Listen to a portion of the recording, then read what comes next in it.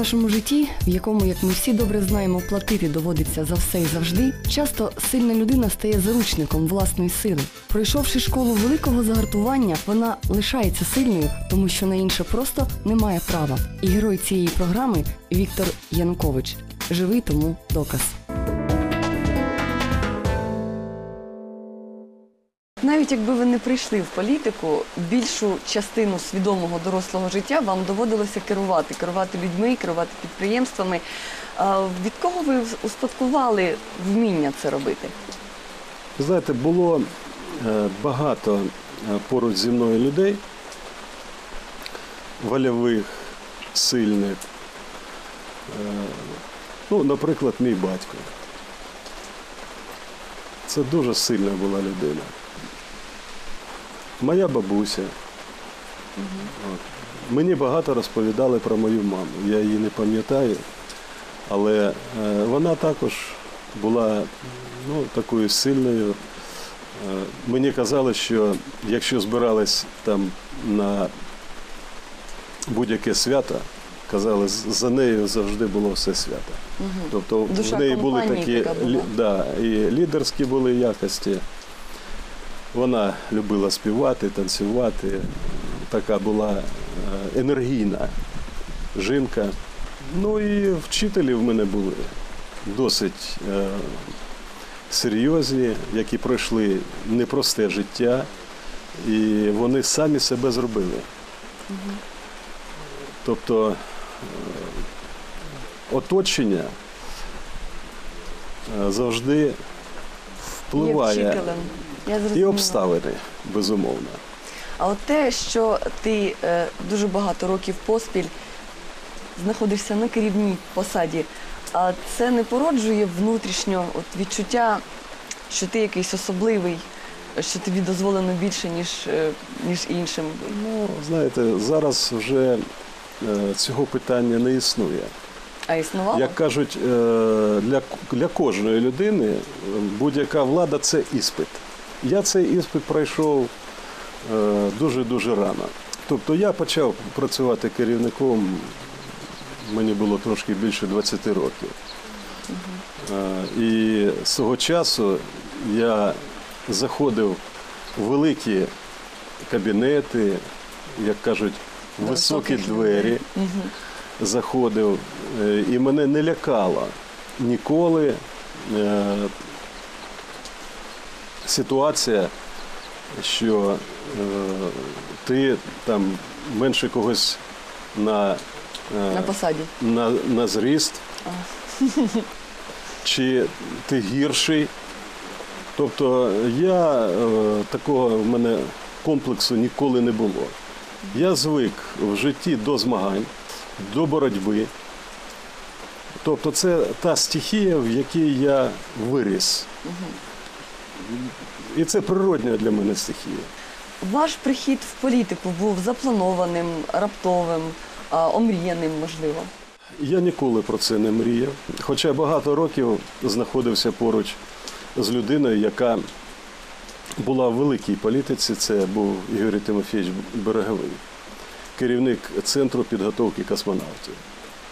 Я з 74-го року був поруч з ним і був помічником, помічником в нього як депутата Верховного Верховної Ради. Верховного Совета СССР. И Георгий Тимофеевич э, это тот человек, который, конечно, очень много э, в жизни мне преподнес различных уроков. И, ну, и он меня называл, и я его уже как бы мы представляли друг друга. Например, Юрий Тимофеевич говорил, это мой друг, мой незаконно рожденный сын. Он так шутил. Да, мой брат, Ну, близькі були стосунки да, и учитель. Он это подчеркивал, потому что говорит, я у молодых всегда учусь.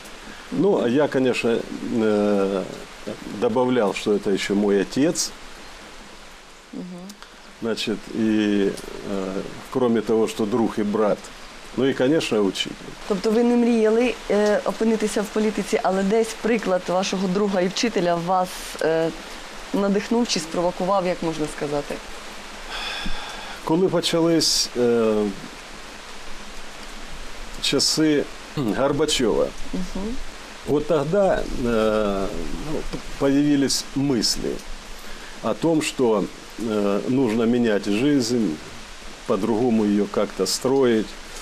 И э, у меня был и есть мой старый-старый товарищ, поэт такой Борис Белаш. Он вообще-то такой очень человек романтичный. А то вдруг его прорвало, и он начал писать на политические темы. Перейнявся. Да, и вот э, я впервые, я при- приехал э, к нему, он мне позвонил, говорит, я в таком дурном настроении, если можешь, заедь ко мне.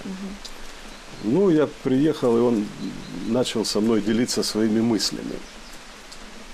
Что вот, видишь, все-таки в стране что-то происходит не то, что нужно. Вот, что мы не можем быть в стороне от этого. И начал мне читать э, стихотворение. И вот одно из них, я его так помню, там такое короткое было четверостишье. Смышленыши историю творят, один народ безмолвствует и плачет. И вот я тогда задумался. Задумался, и где-то у меня появились уже в то время в глубине различные мысли, а как можно устроить нашу жизнь, а какая или переустроить. Хоча хто з нас в молоді роки не мав чистих намірів, не знав горіння серця, бажання змінити світ на краще, впевненості, що нам відомо, як це зробити. Але закон життя таки невмолимий, бо коли ми розуміємо, що між запланованим і втіленим велика відстань, то або розчаровуємось, або вкриваємось бронею цинізму. Политику говорят, э, попасть легко. Це Вот. правда. И как попадешь, вот как я попал, я не понял. Это произошло, в общем-то, э, помимо моей воли, и- или я бы сказал, моих желаний. А выйти из нее очень сложно. Почему? Э, Потому что оставить э, борьбу за э, свои принципы, оставить борьбу за ту программу или те обещания, которые ты давал людям. В общем-то, это очень тяжело. Поэтому вот э, желание что-то сделать или выполнить то, что ты задумал, или обязательства, которые ты взял, это заставляет быть все время в тонусе, в форме. И, конечно, убежденность или определенность в этих вопросах у каждого политика и- играет огромную роль. Я не повірю, якщо ви скажете, що жодного разу не було е, такого моменту, коли ви просто е, шкодували, що ви стали політиком. Тим більше, що критики було багато на вашу адресу. Це важко винести, мені здається. Ну, е, якщо хтось з політиків буде казати, що він політику любить, я впевнений в тому, що це буде сказано нещиро. Я в цьому впевнений. Це неможливо любити. Але е, від, е, набагато легше було б е, відійти, стати осторонь і подивитись, знаєте, як, як це Збоку. все відбувається збоку. До речі, е, багато так е, і роблять людей. Подивитись, чим це закінчиться. А потім перейти на той бік, Який більш виграшний. де переможці, і сказати, що я також вірив в цю перемогу. Таких багато я зустрічав е, хлопців. Це життя. Фраза, що політики забувають про людей, стала аксіомою в наші дні. Ми в це віримо охочіше, і ми не пробуємо ставити себе на місце їх, безсердечних, і не уявляємо, що вони відчувають, коли доведені до відчаю люди хапають їх за руки і як малі діти просять: ти ж не залиш, не підведи. Можливо, така величезна відповідальність навіть більша за совість штовхає їх на боротьбу, і можливо в цьому теж є частина відповіді на питання, чому вони так вперто тримаються за свою політику. Дуже важливо, дуже важливо, щоб е, в політиці було якомога менше бруду, було чистоти. більше. І от е, що стосується української політики, їй цього не вистачає. Це точно. І зараз в контексті тих умов, які ми маємо зараз, е, слово політик часто лунає як лайка, даруйте. І от, хоча з іншого боку, можна звинувачувати політиків дуже багато в чому, і це будуть справедливі звинувачення, але це якби на поверхні. А Якщо подивитися глибше, фактично це люди, які собі не належать. І от я мені дуже цікаво було вас запитати. Ви усвідомлювали, що от можливо буде, ну якби можливо настане такий період в вашому житті, коли ви будете собі не належати до того, як стати політиком? Чи вже усвідомили, але було пізно? Чи можливо вам ви якби вмієте собі належати навіть ну, якби в такому статусі? Е, Я хочу сказати, що е, дуже важко кожній, кожній людині е, бросити свої звички. От. Ну, хто як каже, за що ми любимо друзів чи близьких? За їх недоліки. Да? Угу. От. І ми завжди знаходимо сили їм це вибачати. Тому е, людина, е, яка ну, вже сформувалась, вона безумовно не може там, жити без багатьох речей, до яких вона вже звикла, чи вона їх полюбляє. Так і я, я такий, як і всі. Жива людина, в мене є свої звички, свої недоліки. Я з ними веду боротьбу все життя, але вони мене поборюють. А які ваші звички допомагають вам емоційно відновлюватися після якихось важких періодів? Їх простих е, в мене не було в житті практично. І це вже такий спосіб життя. Про це вже майже не думаєш. Угу. У мене е, також є мій ангел-хранитель, це моя мама, е, про яку я кожен день і кожен ранок я пам'ятаю, я з цього починаю кожен день. Віктор Федорович, ви ж от розумієте прекрасно, що в новітній історії України про вас обов'язково напишуть. От скажіть чесно, що би вам хотілося, щоб про вас написали в підручнику історії? Щоб брехню не писали.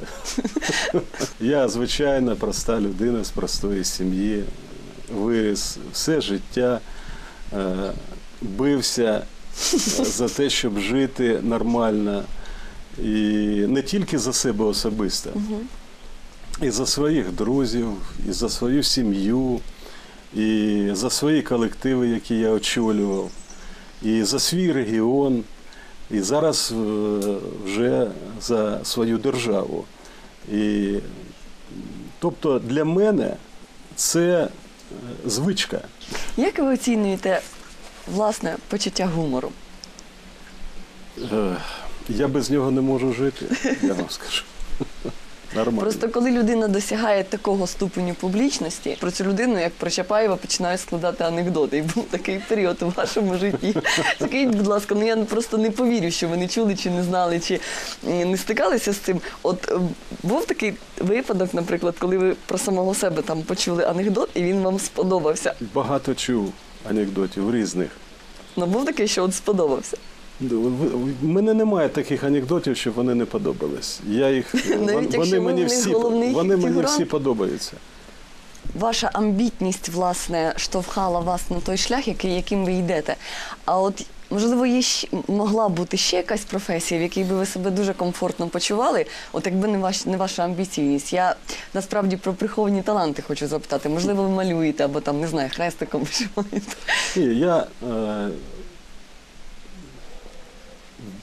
я скажу вам, я багато чого е, і любив, і зараз люблю в житті. І дійсно я малював е, колись, писав вірші. Правда? У мене багато є віршів, навіть пісні. От, і, і їх виконував Це сам. було в юності, там в періоди закоханості. Грав на різних музикальних інструментах. Тобто, це, е, я вважаю, стан душі кожної людини. Ну, не будеш е, цілий день співати, так чи ні? Але коли е, є натхнення, співаєш з задоволенням. Е, Ну, наприклад, мама моя любила і співати, і танцювати. Я також люблю і співати, і танцювати. Я все життя займався спортом. Дуже люблю тварин. Ми сьогодні починали розмову з того, що вам ну така ваша доля, вам довелося багато керувати в житті.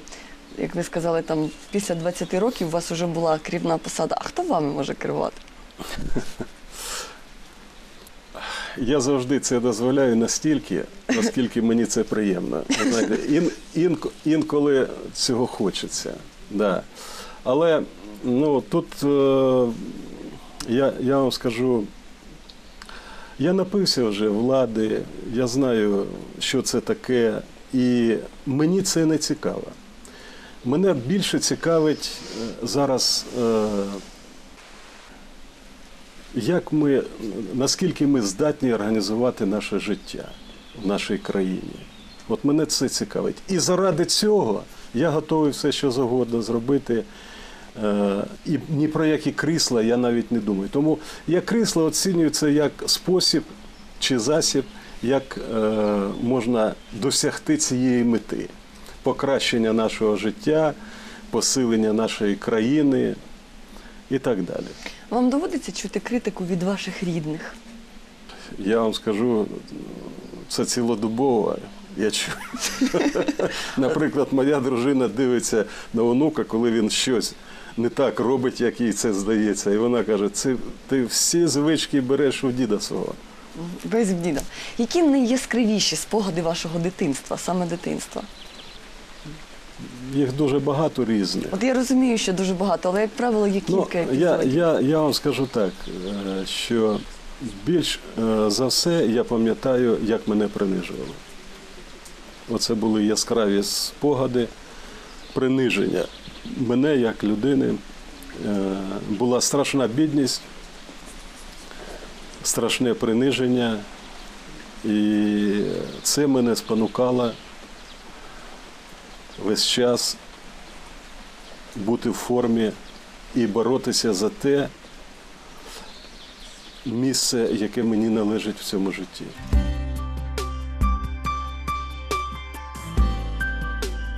Приниження і бідність страшні асоціації, тим більше, якщо вони пов'язані з дитинством. Але все, що нас не вбиває, робить нас сильнішими і дає ту мудрість, яка дозволяє вирізняти найголовніше в житті. Це відбувається з кожним з нас, і з малими українцями, і з сильними світу цього. Я мріяв, коли я е, був в складному становищі е, в юнацтві. Е, колись я слухав е, одну передачу з Володимиром Висоцьким. І йому задали одне питання. Чого б ти більше всього в житті хотів? Да. І мен- мене це, мен- мене це дуже зацікавило. Що він відповість? Він сказав так: я хотів би, щоб мене везде пускали. І от коли він це сказав, я понял, що я об этом тоже все время думав. Ми можемо бути щасливими настільки, наскільки ми можемо дозволити собі бути самим собою. От я собі дозволяю вже багато часу в житті бути самим собою. І чим більше я е, це роблю, тим більше я переконуюсь, переконуюсь, що так треба відноситись до кожної людини.